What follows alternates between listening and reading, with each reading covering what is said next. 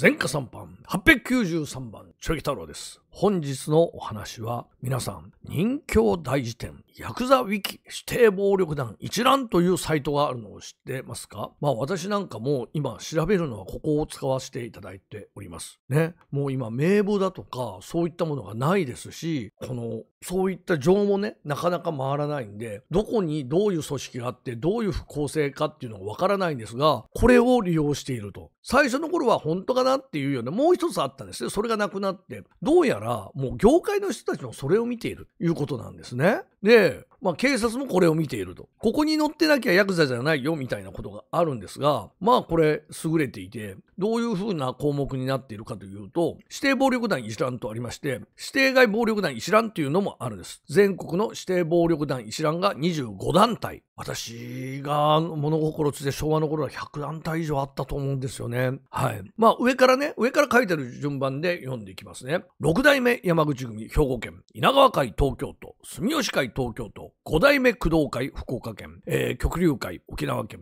7代目会津小鉄会京都府、えー、6代目共生会広島県、7代目合田一家山口県、4代目小桜一家鹿児島県、5代目浅野組岡山県、同人会福岡県、2代目神話会香川県、総愛会千葉県、3代目共同会広島県、大衆会福岡県、10代目坂梅組大阪府、極東会東京都、2代目東組大阪府、松葉会東京都、4代目福白会福岡県、浪川会福岡県、神戸山口組兵庫県、絆会大阪府、関東関根組茨城県、えー、池田組岡山県となっているんですね。はい。で、この中からそれぞれの組織をクリックすると、各二次団体に分かれ、三次団体に分かれというふうに名前が出ているんです。なので、ここに名前が載っているっていうことは、まあ、現役の暴力団ということになるわけですね。で、これ、あの、服役したりすると、服役中と入ったり、辞めた人たちは、あの、辞めるような形になっているので、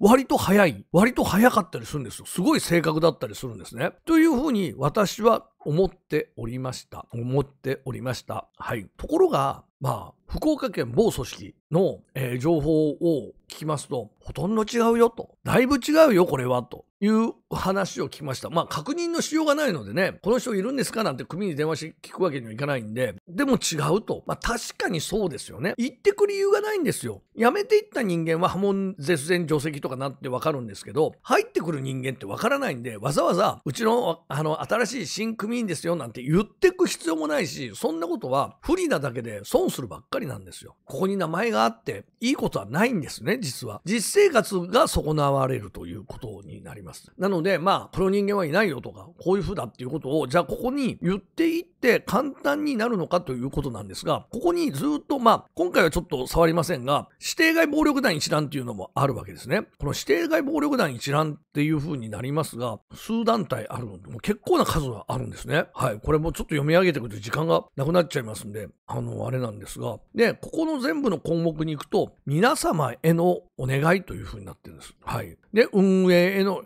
編集依頼、メールで編集依頼、他ユーザーへの返信協力依頼、ね、過失や編集とか削除依頼っていうものもできる。削除依頼ができるんですね、これが。で、テキストの整形ルールっていうのがあって、そこに行くと、えー、通常は入力した文章がそのまま出力されます。だからちょっと難しいことがいろいろ書いてるね。HTML のタグは効果ありませんとか、書かれた文章はそのままとか、英語で。いや、このことを暴力団の人たちに言ってもわからない。ヤクザの人って何だろうと思っちゃいますよね。で、テキストの整形ルール、ブロック要素とか、段、ん？なんか、この、いろいろ、ちょっと専門用語、私も引用文、リスト構造、整形済みテキストとか、CSV とか、なんか、こんなんわかんないですよね。文字色とか、開業とか。いやー、ね結構これややこしいです。右寄せ、センタリング。そんなことは、こんな難しいことはあれなんですが、やっぱり名前が載せたくないと。自分の名前を削除したい。現役でありながら。その方法を私が教えます、今日は。どうやら、ちょっと私が試したわけじゃないですよ。どうやら、この管理者の方は、